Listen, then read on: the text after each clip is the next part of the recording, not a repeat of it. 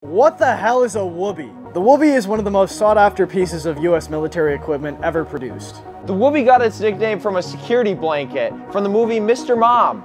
I'm fast as fuck, boy. It's made as a poncho liner with two layers of nylon with a polyester filling. It's the perfect blanket, pillow, and in emergencies, a makeshift tent.